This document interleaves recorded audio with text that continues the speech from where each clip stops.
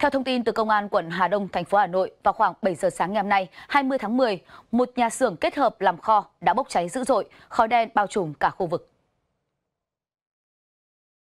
Cụ thể vào khoảng 7 giờ sáng ngày hôm nay, người dân quanh khu vực chợ 365 ở phường Hà Cầu, quận Hà Đông, Hà Nội phát hiện đám cháy lớn. Vị trí xảy ra cháy tại một nhà xưởng kết hợp cùng kho sản xuất sơn ở tại đây. Đến 7 giờ 46 phút, đám cháy vẫn bùng lên dữ dội, cột khói đen bốc cao cả trăm mét. Hơn 8 giờ 30 phút, ngọn lửa vẫn tiếp tục bùng lên tại khu xưởng này. Nhận được tin báo, hàng chục cảnh sát phòng cháy chữa cháy và cứu nạn cứu hộ cùng các phương tiện chữa cháy chuyên nghiệp được huy động tới hiện trường để dập lửa. Thông tin ban đầu có ít nhất hai nhà kho rộng 800 m2 đã bị thiêu rụi. Được biết đây là khu vực cho thuê kho, xưởng.